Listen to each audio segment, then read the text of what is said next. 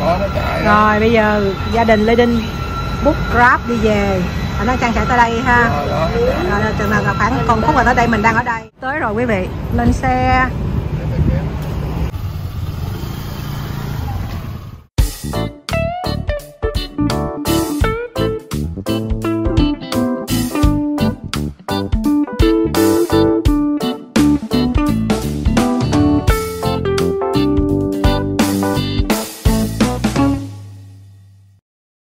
Chào mừng quý vị trở lại với Lê Đinh Vlogs USA.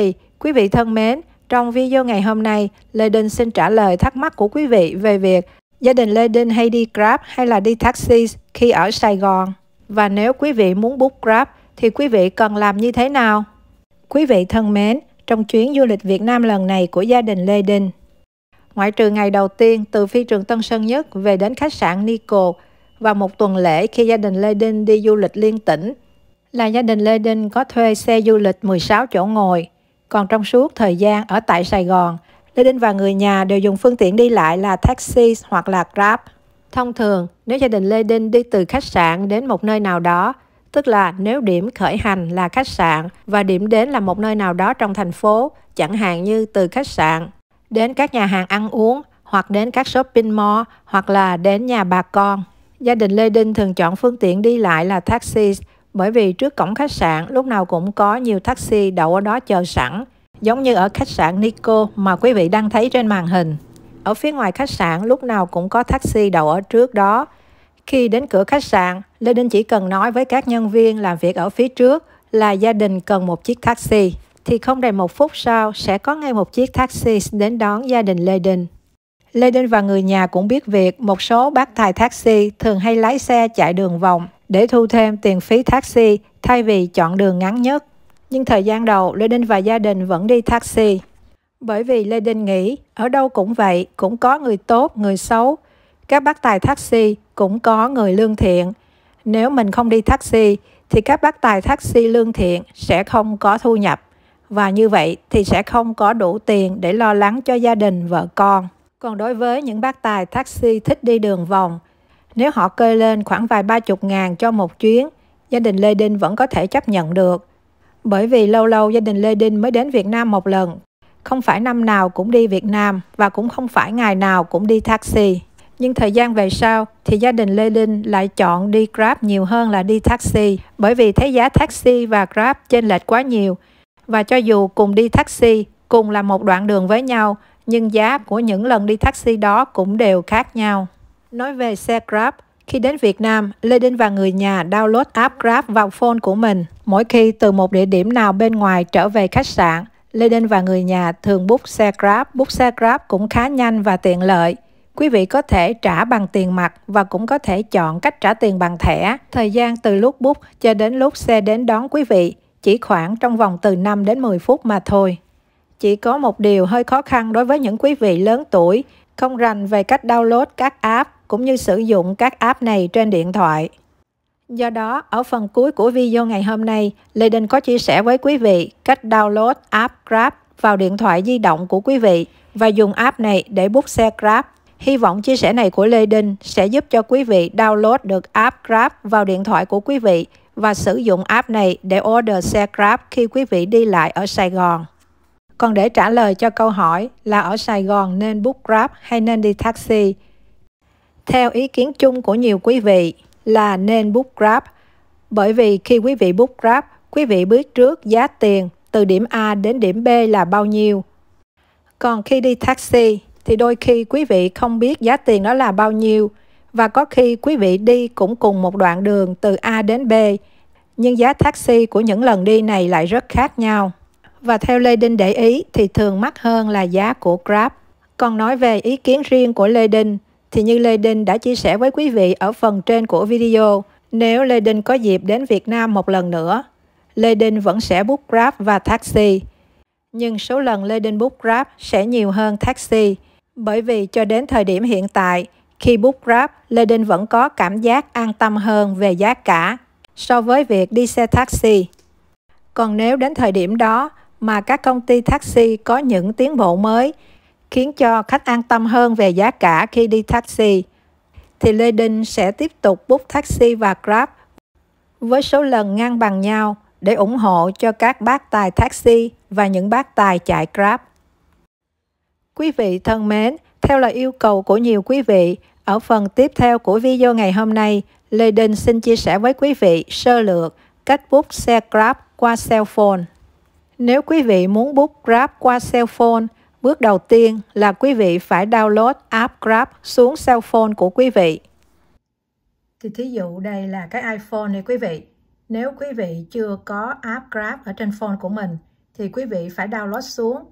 Lúc đó quý vị phải vào App Store thì quý vị thấy có chữ E đây nè quý vị, đó là App Store. Quý vị sẽ nhấn vào đây.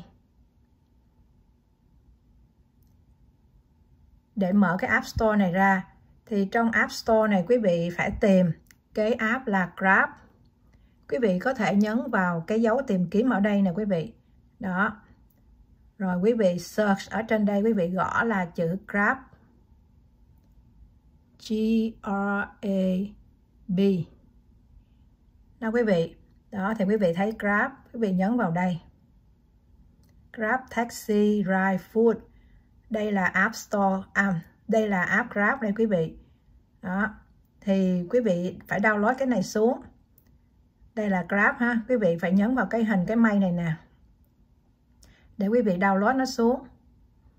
Nếu quý vị chưa có thì khi download á, thì quý vị thấy nó quay như vậy tức là đang download xuống đó quý vị thì mình phải đợi đợi chừng nào download xong thì coi như là mình đã có cái app Grab ở trên phone của mình Sau khi quý vị download xong thì quý vị nhấn vào nút Open để mở Grab app lên. Khi quý vị mở app này lên, quý vị sẽ được yêu cầu login. Nếu quý vị chưa có account với app thì quý vị phải tạo một trương mục với app Grab, tức là quý vị phải sign up. Như vậy, bước thứ hai sẽ là bước tạo trương mục với Grab, tức là quý vị phải tạo một trương mục cá nhân của mình trong app Grab này. Quý vị có thể cho số phone của quý vị khi tạo trương mục nếu SIM điện thoại của quý vị đang dùng có số phone Việt Nam thì quý vị cung cấp số phone Việt Nam. Còn nếu điện thoại của quý vị đang sử dụng là có số phone Mỹ thì quý vị cung cấp số phone Mỹ. Đối với Lê Đinh thì Lê Đinh đến Việt Nam rồi mới download app Grab này xuống. Cho nên Lê Đinh cho số phone trong SIM điện thoại ở Việt Nam khi tạo trương mục với Grab. Quý vị cứ làm theo một số hướng dẫn để tạo trương mục với app Grab. Những hướng dẫn này cũng đơn giản thôi, cho nên rất là dễ dàng. Quý vị chỉ cần khoảng 5 đến 10 phút. Đại khái là quý vị sẽ nhận được một mã số để confirm số điện thoại của mình. Rồi sau đó quý vị phải cho tên của quý vị vào. Và một vài thông tin khác, chẳng hạn như địa chỉ email của quý vị. Sau khi quý vị tạo xong trương mục rồi, thì quý vị có thể dùng app Grab ngay lập tức. Quý vị có thể dùng app này để order thức ăn được delivery đến tại khách sạn của quý vị hoặc đến nhà của quý vị hoặc order cho người ta đi chợ cho quý vị, hoặc là đặt xe để đi lại. Nếu quý vị muốn đặt xe qua Grab, quý vị chỉ cần nhấn vào vòng tròn có chữ car và có hình chiếc xe ở trong đó. Tiếp theo, quý vị hãy gõ địa điểm nơi quý vị muốn đến vào chỗ Where to. Còn như ở trong phone của Lê Đinh, thì app này đã có nhớ một vài địa điểm mà gia đình Lê Đinh đi đến, thí dụ như là khách sạn Nico ở Sài Gòn. Do đó khi Lê Đinh mở app ra chỗ Where to, Lê sẽ thấy một vài địa điểm gợi ý sẵn. Nếu Lê muốn đến Hotel Nico Sài Gòn, Lê sẽ nhấn vào chỗ đó. Bước tiếp theo, app sẽ hỏi quý vị địa điểm để đón quý vị là ở đâu. Nếu quý vị muốn xe đến đón quý vị ngay tại địa điểm hiện tại mà quý vị đang đứng bút xe, quý vị hãy nhấn vào nút màu xanh có chữ Choose this pickup. Sau khi quý vị chọn xong điểm đón và điểm đến rồi, quý vị hãy nhấn vào nút màu xanh có chữ Confirm. Sau khi nhấn nút Confirm, bước tiếp theo là bước quý vị chọn xe. Quý vị có thể chọn xe 4 chỗ ngồi hoặc 7 chỗ ngồi tùy theo số người trong gia đình của quý vị và tùy theo số tiền mà quý vị có thể trả. Ở đây, quý vị cũng có thể chọn lựa là trả bằng thẻ hay là trả bằng tiền mặt. Sau khi quý vị chọn lựa xong, quý vị chỉ cần nhấn nút Book. Lúc đó quý vị có thể nhìn trên bản đồ của app để thấy được xe đang từ hướng nào đến đón quý vị, bao lâu nữa sẽ đến, bản số xe là số mấy, xe màu gì? Và có kèm cả ảnh gương mặt của bác Tài. Rồi bây giờ gia đình Lê Đinh book Grab đi về. Anh đang trang chạy tới đây ha. Rồi chừng nào khoảng còn phút là tới đây mình đang ở đây. À, rồi đó nhưng mà nó có SMS time không? 4 phút. 4 phút nữa tới 4 phút nữa tới đây quý vị à, download cái app Grab xuống và mình book xe mình đi số xe 51 hết Ồ, có cho biết số xe luôn nữa hả? 797 À, để mình nhận diện nè, số xe này này giống như giống như Uber vậy đó. Ờ. Đợi xe tới. Xe lửa chạy tiếp nữa. Xe lửa chạy rồi. Ồn quá trời luôn.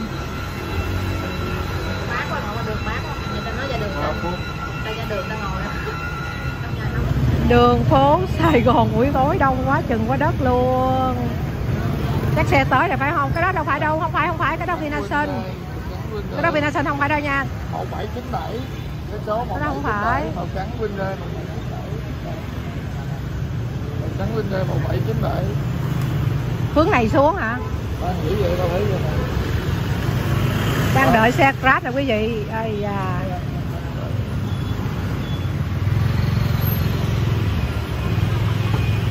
Lên đi vô trước đi con.